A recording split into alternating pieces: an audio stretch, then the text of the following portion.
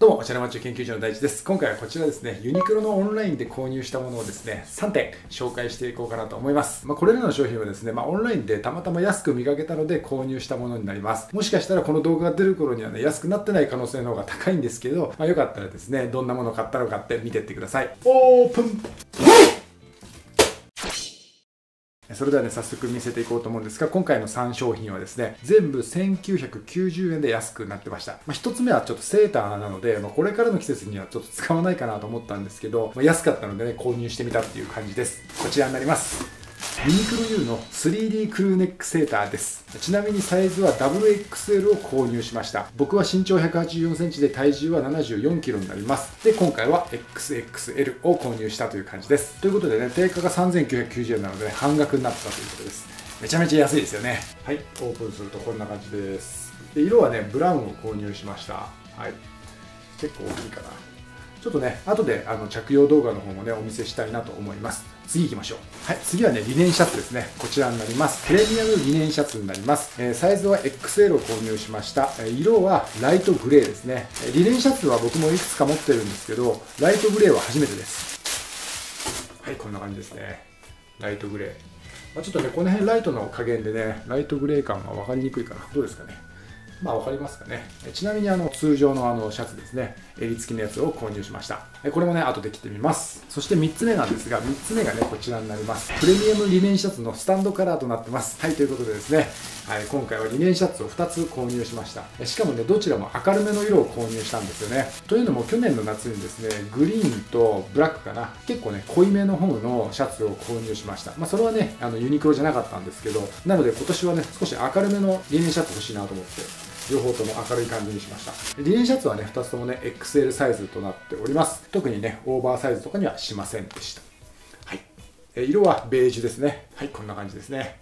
ちょっとそういう意味ではね似てるんですけどね先ほどライトグレーと。まあ襟の感じがスタンドカラーなのでちょっと違いがあるというところです。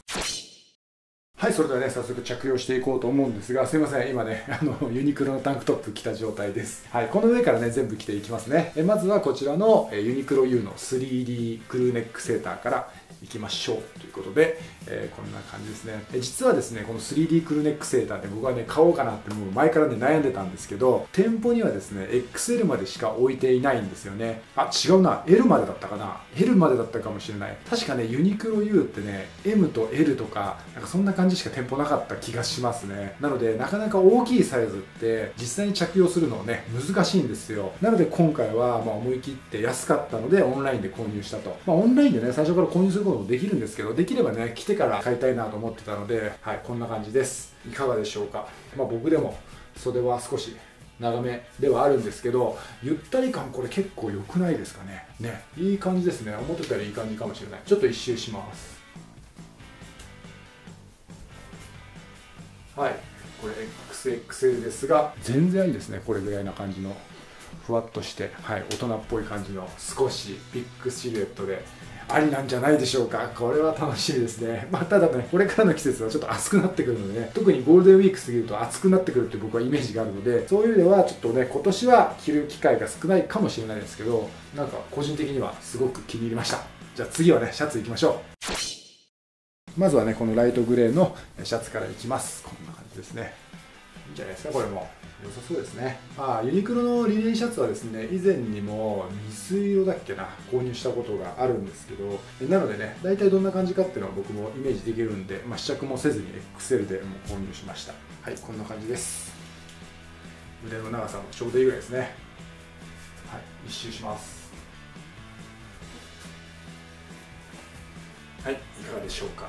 まあ割とねシンプルなんで全然問題ないんじゃないかなと思います、まあ、逆に言うとね特にこうインパクトがあるっていうか、えー、そういう感じはしないんですけどこれいいですよね。今回ねライトグレーっていうのが特に気に入ってます。あんまりライトグレー系のシャツって持ってなかったので。まあ後でねあのお見せするスタンドカラーもそうなんですけど、まあ、僕結構ね長袖シャツっていうのを暖かい時期でも着るようにしてるのはありますね、まあ、すごい暑い時はもちろん半袖着るんですけど、まあ、どっちでもいいかなみたいな時あると思うんですけどそういった時はどちらかというと長袖を選ぶようにしてます。これはね何だろうなえっ、と多分ね40代入ってからそう思うようになったんですよね、えー、なんか半袖ってやっぱどうしてもちょっとカジュアル感よるっていうかなんだろうそんなにすごい暑い日じゃなかったら、まあ、長袖にしてこうやってねそれをまくった方がちょっと大人っぽくなるんじゃないかなと思ってこういうスタイルが僕はすごく好きですね。なので素材もねリネンということで、え、涼しげな感じがして大人っぽいおしゃれマッチョスタイルができるんじゃないでしょうか。じゃあ次はねスタンドカラーの方着てみたいと思いますはい、こちらですね。スタンドカラーの方はベージュになりますね。なのでちょっとインナーは今グレーですけど、えー、ちょっとね変えた方がいいかもしれないですね。インナーを使うときは。こんな感じですかね。えー、違ってますね。危ない。早めに気づいてよかった。これね、やっぱね、40になってもね、掛け違いってよくあるんですよね。不思議ですね。はい、こんな感じですかね。今度はスタンドカラーですね。えいわゆるこういうやつですね。こういうのねスタンドカラーとかあと何だったっけ？えー、っとスタンドカラーとかあとは何でしたっけ？バンドカラーか。もう数年前と比べたらね本当にスタンドカラー増えましたよね。こんな感じで。ちょっともう袖めくっちゃいましたけど一周しますんな感じですね。まあ今ねこれって出してますけど実際はね割とシャツなんかしまっちゃった方が僕は大人っぽいんじゃないかななんていうふうにも思います。この辺パンツとかねシューズですかね。それにもよるかもしれません。全体的なコーディネートっていうのも考えながら動画にしたいかなと思っております。もしよかったら所長が考えるおしゃれマッチョコーデ見てってください。それでは行きましょう。どうぞ。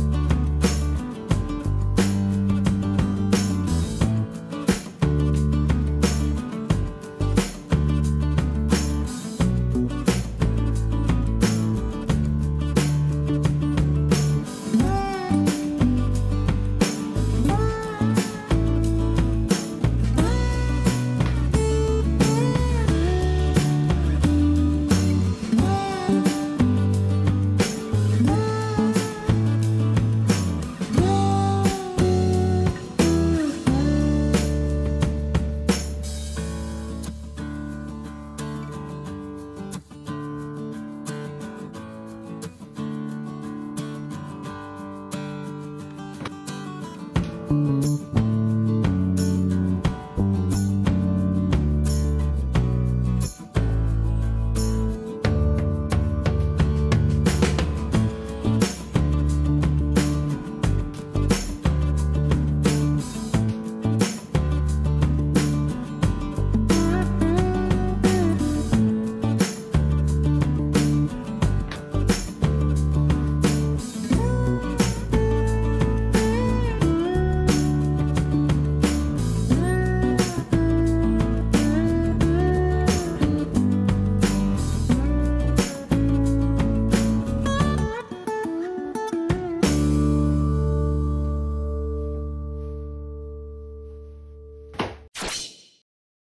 キンキンの皆さん、最後までご視聴どうもありがとうございました。楽しんでいただけましたでしょうか？今回も所長が考えたおしゃれマッチョコーデですね、いくつか紹介させていただきました。研究員の皆さんのね、ちょっとでも参考になるとすごく嬉しいかなと思います。僕個人的に一番気に入ったコーデはですね、今回これですね、このカーゴパンツとこちらのリネンシャツを合わせた黒とベージュのすごくシンプルなコーデとなりました。研究員の皆さんにはいかが映りましたでしょうか？もし気に入ったコーデがありましたらぜひ教えてください。研究員の皆さん楽しんでくれた方はぜひグッドボタンの方よろしくお願いします。それでは皆さんまた次回の動画動画でお会いしましょう。研究員の皆さんに他者はいという感じでね撮影も無事終わったところですね。これから、まご飯作っていこうかなと思っております。あとお弁当も作んなきゃ。